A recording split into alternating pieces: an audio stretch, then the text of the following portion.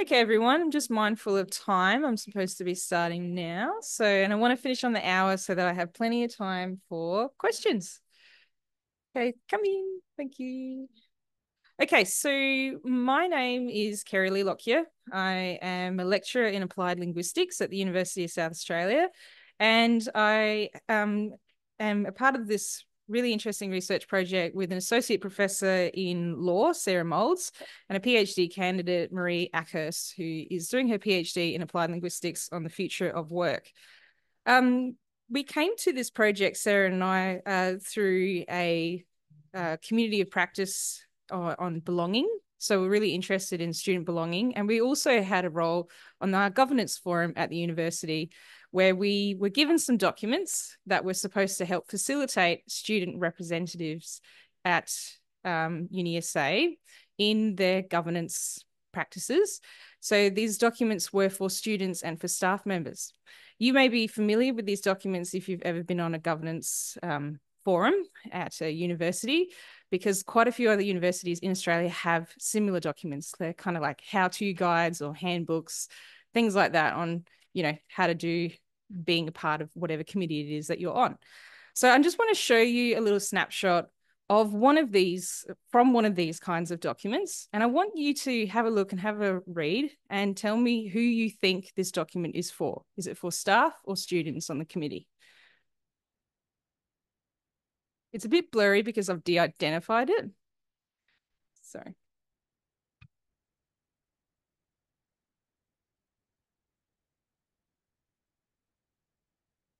Hear a few giggles. Have you figured it out yet? Who's it for? Students. And how quickly did you realize that? So we don't really tell staff members, for instance, um, who are coming into uh, a role on academic board to not slouch or look disinterested or put their head on the table um, or not to interrupt or speak over other people, which I have been in some decision making places where professors do do that, which is funny. Uh, but you know, lo and behold, this is uh, this isn't just something that we sort of hold up and say this is interesting or funny or not great, but rather um, as an applied linguist, I looked at this um, and I thought, what are the assumptions that are underlying documents like this about who students are and what they're bringing to decision making processes at the university? And this led us on a journey of looking at governance from this light. So why this matters is because I'm sure I'm speaking to the choir here in some kind of way that we all recognize that governance is a really important part of universities for all these different reasons. We've got um, student retention, student learning outcomes, student recruitment, student health and well-being, student participation. These are all things that are talked about, considered on the agendas of decision-making forums across Australia. And a lot of the charters or the rules and regulations that actually govern these spaces say that they have to have a student representative in these spaces to be a part of these conversations. The issue that uh, comes up time and time again in the literature and also anecdotally is that students who are a part of these processes either none are volunteer for it or when they are there they don't say anything they're not genuinely a part of the decision making process. So this uh, raises a question about how are students and staff members conceptualized in the documents that inform governance processes. Another way of thinking about that is how do these documents that sort of move and shape governance at universities, what are they saying about staff and students from the outset? How are they defining the roles and the expectations of people within these places and spaces? So the aim of our research is to investigate how these conceptualizations across universities in Australia we can then for explore the broader institutional discourses that are shaping the way students and staff are repositioned, redefined, disenabled in these governance processes. You notice I've done this funny thing that we tend to do in applied linguistics, which is we we hold terms really lightly. So when I talk about position or positioned, it, this can equally be repositioned. When I talk about definitions or define, this can also be redefined or and so forth with enabling.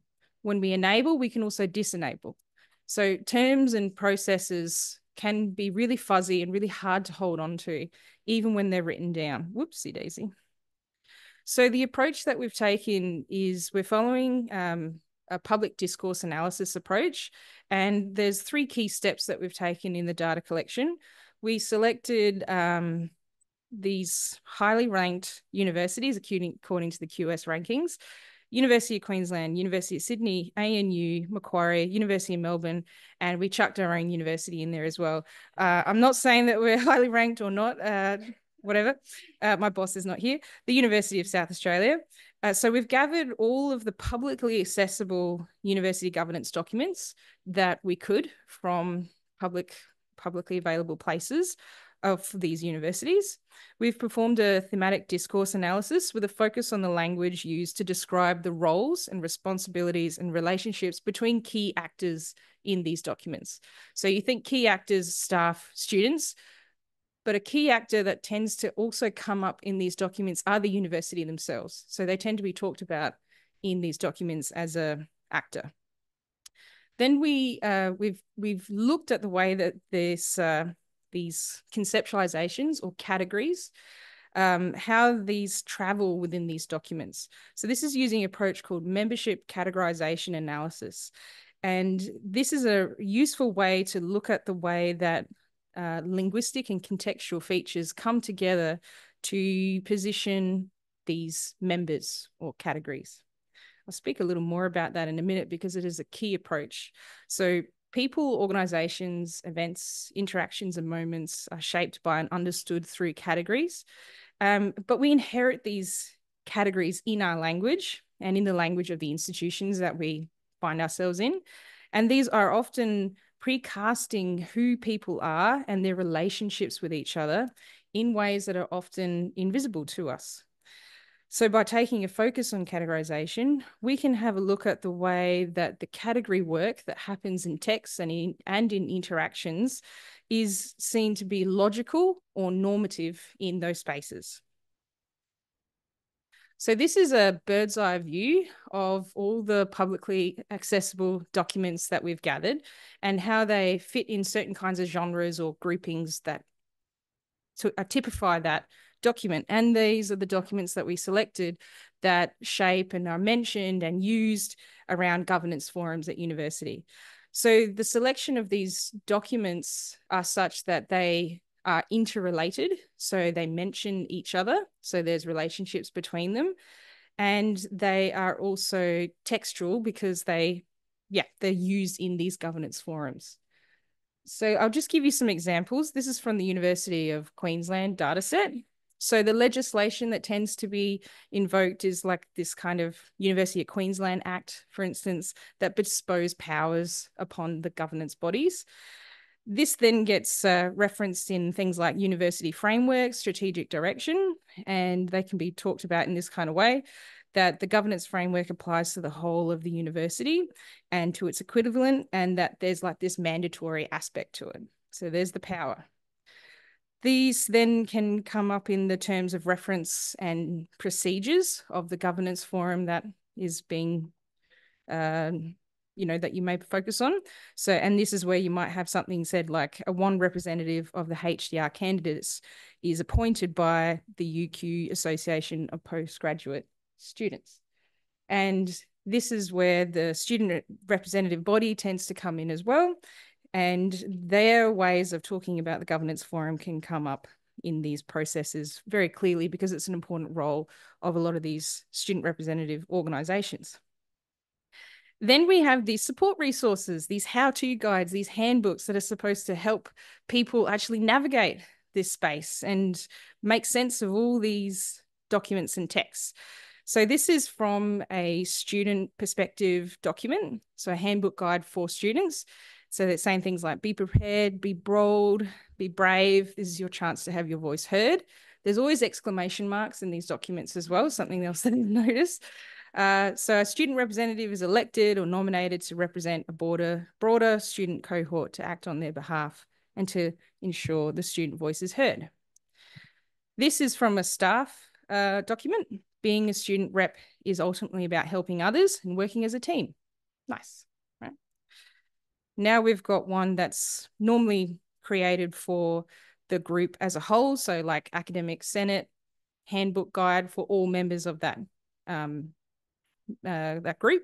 So this is where something along the lines of this is stated, ensuring that board members understand their responsibilities as trustees of the university and not as delegates of their faculty, academic unit, professional staff, or the student body. You may see already what's emerging here, even from this bird's eye view perspective, is different uh, interpretations of these texts in terms of what the role of the student rep is actually supposed to be in this forum, in this space. So if we have a look at our text in detail and how these membership categories travel within the text. Uh, so I'm zooming in on a document that was created for the University of South Australia. You see students are positioned as the mentees here. So they have to uh, become engaged. So in other words, they weren't engaged before. Uh, they are also there to learn, much in the same way that they may learn as a student in the learning context. And staff on the other side of that, as the partner, the pair of this category, they are the mentors and the teachers. Because if a student is there in this mentee capacity, then the staff member is there to be the mentor and the teacher. You can see that in the way that this document talks about, it's actually here specifically saying mentoring and learning development equally, there's this notion of students are outsiders. They're on the outside of the university and they have to be welcomed in to gain a sense of belonging and investment about the university. In other words, staff are considered to already have this in place. That's always the flip side to it. Okay, whoops. So if students are not just mentees, they also have other commitments. This needs to be actually written out in documents like this that, you know, students have to decide between studying for an exam and attending a meeting. They're actually going to prioritize things that are important to them and that they have this high complex set of priorities to manage their time. And if staff are the mentors and the teachers, then they need to also recognize that if a student doesn't come to a decision making forum, that it's not because they're disinterested or a bad student. Students are outsiders and are unfamiliar with the role. So, this is where they may have to take um, steps in which to show that there is no ambiguity about your role, that you need to explicitly state why students should be there and what value they bring. So the assumptions that are underlining un, underlying these documents are that students are therefore outsiders and unfamiliar with the context need to be made to feel belonging and that staff are going to have a very important part of that process of ensuring that they are going to facilitate the belonging for students okay so across the documents, when we looked at it from that bird's eye perspective, the interrelated and the textual perspective, we see that there emerges from these governance documents multiple student representatives. So even though the form student representative is the same, the meaning doesn't always travel with that form. So we see them being positioned as a change agent, an advocate, a voice to be heard. This is just an example of this being stated. So remember the overarching goal of the SRC is to make Macquarie what you want it to be, exclamation mark. Uh, sorry, student representative, a conduit of the student body. So someone who's just there and the student body comes with them, right? So to be a representative of your faculty's cohort and improve the university experience. So just you being there improves the university experience. Members of the SRC will be democratically elected by students and therefore uh, it's you know a representative in that kind of sense. So it's student representative working with academic staff and other university members to achieve common goals. So the board is composed primarily of academics who are representative of the academic diversity in the university. And then we have, it also includes students as junior colleagues. So you can see the positioning there again of students in relationship to staff members and academics and that they provide an important venue for student involvement in academic decision making. A member of the governance forum working towards the best interests of the university. This is also a very common way of talking about student representatives, that there's this expectation that they're going to act in good faith in the best interests of the academic senate and the university. So what our research, um, I think, is revealing as we trace the student and staff um, categories through these texts, categories are co-created in situ, so with others, and it's always in context. So you can, can't really understand what student means and also what staff member means unless you're considering the context and the other social actors that are involved in that context. So therefore, students can be learners and mentees, and staff are teachers and mentors. Um, you can see even in texts where there may not be specifically um, stated that student is a mentee, you can see it in texts that say things like this. The power difference between committee members and student rep representatives can make it difficult to speak in meetings. A little bit further along, there's another sentence in between that. I got rid of it. Sorry. Disagreeing with someone on a committee will not negatively impact on your commit on your degree. So this is where you can see there's like this tension that's occurring when you have a student who's on a academic committee, they're being told you're a student representative in this context, that means X, Y, and Z, but they're sitting in a room with people who have the power to make decisions about their degree and about their, you know, potential futures. You can't just say, well, that's being pushed aside because it's their reality. And it needs, and it, you see it how it's actually explicitly stated in some of these documents. Student skills developed relate to career support and development as well as mentoring. So again, a lot of the benefits that get uh, presented to student representatives is that they're going to learn skills. It's better for your career. Uh, you can put it on your CV. You know, it's great for your job outcomes, etc. We've got the position of clients buying a product and staff producing that product. Um, this is in some documents in the way that uh, the university is the role of the university is positioned as not being designed for things like job training, but the uni is a place to teach people how to learn. Um, sorry for shouting at you, uh, but this is how it was presented in the text, and I think the meaning of it would be lost if I'd taken out the caps. So advocates and activists pushing for change, and staff are the ones that need to change. Your voice matters. I thought about shouting it, but I won't. As a class representative, you are seen as a leader who can speak and share the experiences of your course. When you speak, the university must listen. So you can see there the, the sort of role of activist and agent there being bestowed on the student regulated and staff are regulated and regulators for students. I need to unpack this a little bit because um, I think it's an important point. So when students are regulated, so you can think of TEQSA, you can think of all these different legislations that get put on place and filter down through into course curriculum, course learning outcomes, all that sort of stuff. Students are regulated in that sense. Staff also are regulated too, but they are also the regulators of students. So um, this is just an example of it coming up in these texts. So your focus should be on auditing the course to ensure that it is consistent with university policy. Consider what contributes to the student learning experience, capital letters, and how you can provide feedback on each component to enhance it. So what's the upshot here? So far, we can say um, that these texts are representative of the way governance documents across universities in Australia cast how staff and students are repositioned, redefined, and disenabled. And at a minimum, we believe that this raises questions of what student engagement, roles, and expectations do we need in governance?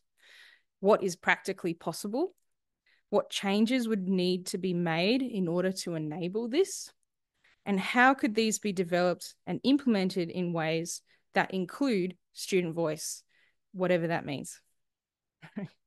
Sorry, I couldn't help it.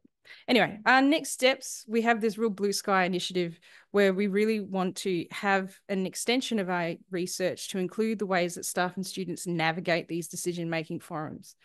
Um, and we're going to be seeking partners for that next stage of our research. So this is just the first stage of a aspirational change for the way that we make decision making possible at university. Thank you. Any questions?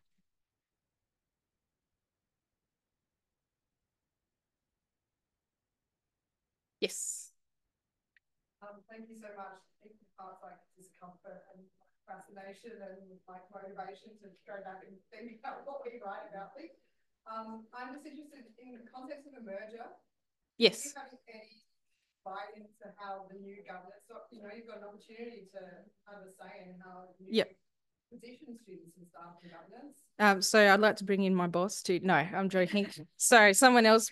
Someone else got the boss in to talk to the. I wish I could bring the vice chancellor in. Uh, yeah. So the merger, for those of you who don't know about South Australian politics, um, my colleague from Flinders, watching um, maybe from your institution.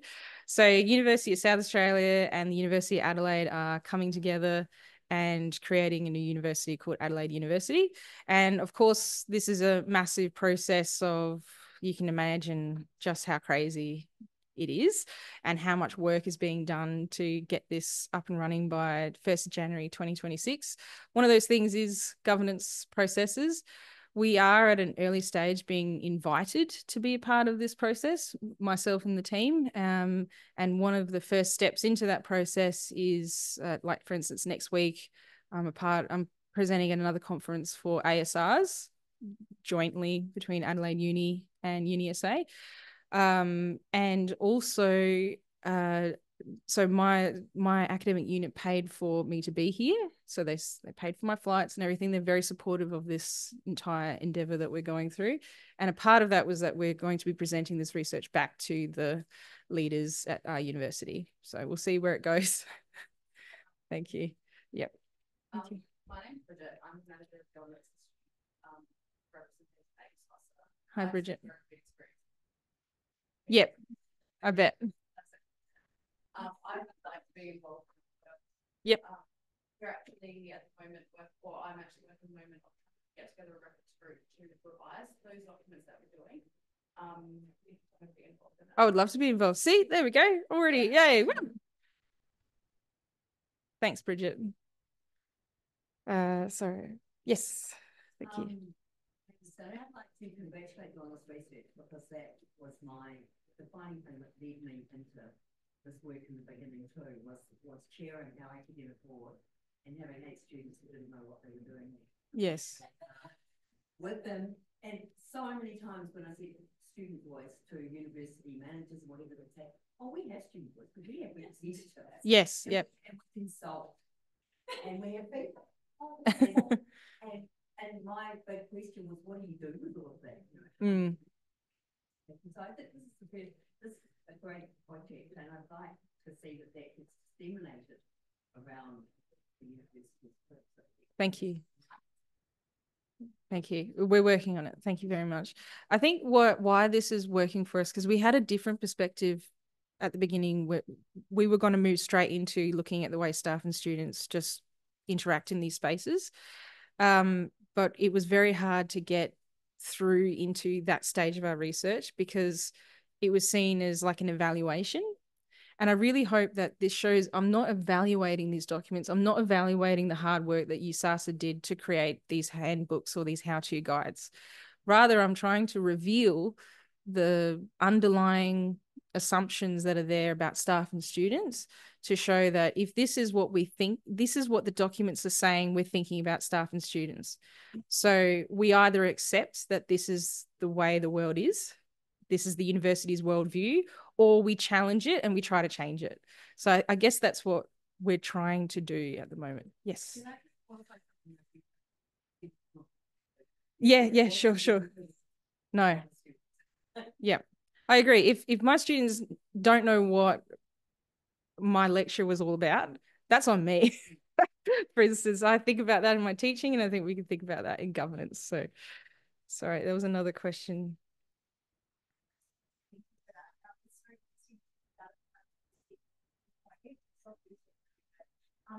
Um, here this morning. Oh, sorry, I'm Lisa. I'm from the University of Waterloo. Hi. Um, The keynote this morning um, made a quote that's just stuck with me in terms of the students will grow into the boxes um, that we make for them. Yes. The base so interesting. Yep. And actually. um, Yeah, it's really kind of funny to throw these up and say things back, really the back. Great. Yeah. Oh well, we we, we welcome involvement. Thank you. I had a uh, thank you. I think great insight two things. First of all, the, the universities that you've selected for that review, Mhm. their scope on that because I don't feel that they are truly reflective of the Australian. Yeah. They- We yeah. We we chose them because something that anecdotally happens when uh governance forums are coming up with new terms of reference and things like that is that they sort of steal from other universities. They go to another university and think, oh, University of Sydney did this in this structured way. So let's see, we will just take that and do that. So there was there was a bit of that in selecting those particular organizations. Also, it's a huge corpus already, but I recognize I want to have, you know, for instance, representation from yeah, yeah, UniSA is technically a regional university as well, but I recognize, you know, we we would like to include universities from other states as well. We haven't got some friends from Perth yet. We haven't got a friend from Northern Territory or, or Tasmania in that list, so we definitely are going to include them. Um, and yeah, that's the first my RA is probably hearing about that, so she's. but it's it's an ongoing thing. But thank you for that. What was your other thing? I think I think that highlight things like this highlighting that we need to have a really distinction between and Mm, um you know I'm I'm on the university council as a student representative uh, but that is board of like multi-million dollar organization and so your kind of directorship in the governance structure sits completely separate of student representation and that and that's what the confusion comes down to Mm. So I think that there's got to be a huge piece of follow-up work to really define the separate roles our organizations. And probably needs to come down to how we embed the student voice in more of the lower levels of university, because it shouldn't be the one person or two people on university council that are representing students. They can't actually make that much change. By the time uh, a decision is come to university council, it's like a yes or a no. It's Mm. not a, let's discuss this and let's actually make. I think Yeah. that's hopefully that's yeah, thank you. Thanks for your perspective. Any other questions? Yes. So using the student representative, what do you do when, you know, staff members come across students? Who struggle with that balancing that power dynamic and don't like it when students disagree with them and try to actively make it harder for them to disagree with them. Yeah, I wish I had a good answer for that, but I don't, because uh, that that is something that we would like to look into is how the interactions within these decision making forums then are shaped by these documents.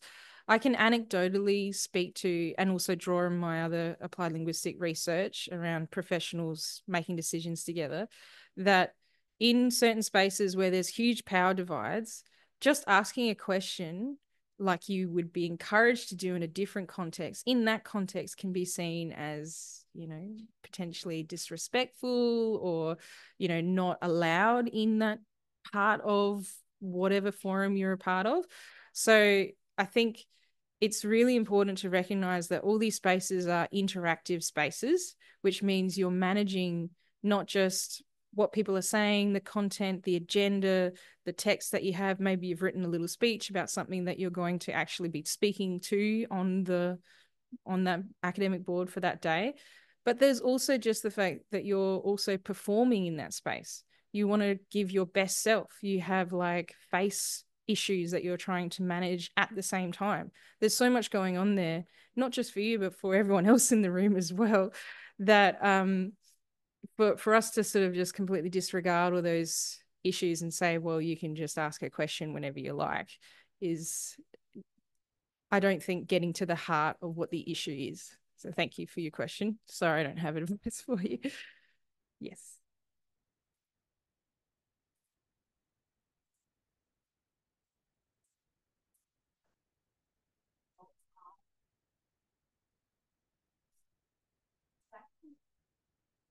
Yeah, I would like to have research to back it up, but I know anecdotally in my position working on academic board and also as my uh, the HDR representative on the research school board when I was a PhD student.